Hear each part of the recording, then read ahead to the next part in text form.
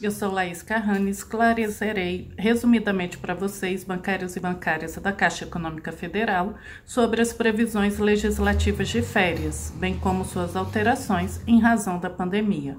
Como se pode ver, uma série de medidas desfavoráveis aos empregados e às empregadas advieram da medida provisória 927 de 2020.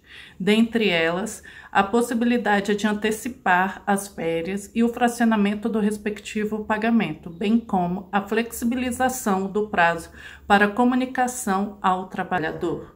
A medida prejudica até mesmo o significado do que são férias, ao tornar possível que as férias sejam tiradas antes do período aquisitivo, e mesmo que o trabalhador não tenha completado 12 meses de trabalho, será possível lhe adiantar as férias.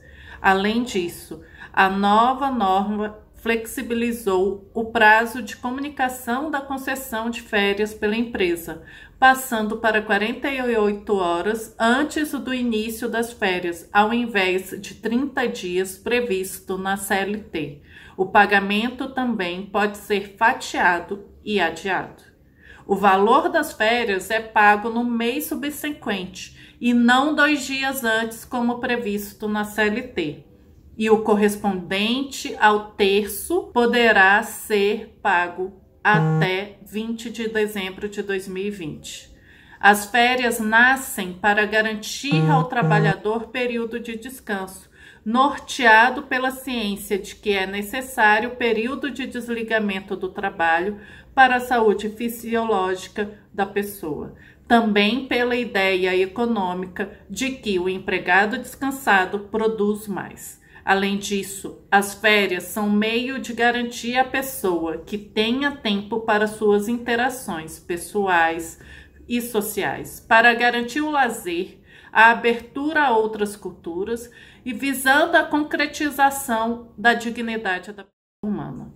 Logo, a possibilidade de antecipação de férias é medida prejudicial ao trabalhador, vez que inaugura a possibilidade de que o empregado fique depois mais de um ano sem tirar férias.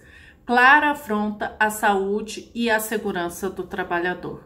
A ofensa ao texto constitucional é direta, já que se constitui direito fundamental ao empregado ao gozo de férias anuais que representa proteção à saúde física e psicológica do trabalhador e por reconhecimento de sua importância na concretização de direitos fundamentais.